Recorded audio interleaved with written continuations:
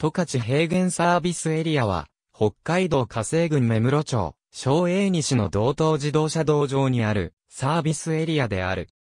2020年現在は、無人で駐車場、トイレ、自動販売機、ドッグランしかなく、ガソリンスタンドや売店等の施設はない。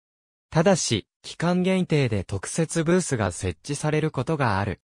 2019年は4月から11月の間、設置された。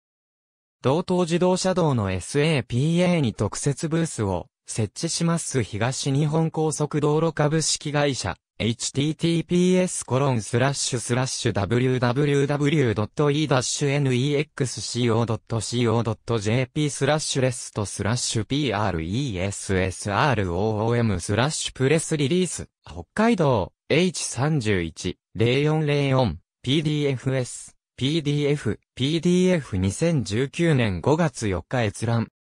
ABC 道東自動車道十勝平原サービスエリア十勝へ威厳上り、東日本高速道路株式会社、2017年1月16日閲覧。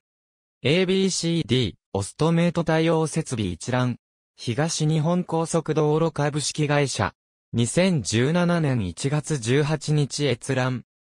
AB、新たに10カ所の SAPA で、電気自動車の急速充電が可能となります。E5、A サッソン自動車道では、発動ニュー東日本高速道路株式会社 https コロンスラッシュスラッシュ www.e-nexco.co.jp スラッシュレストスラッシュ pressroom スラッシュプレスリリース北海道 H30 1219 PDFs PDF PDF 2018年12月30日閲覧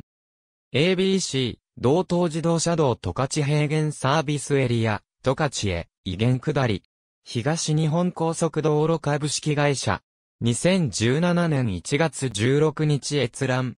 ありがとうございます。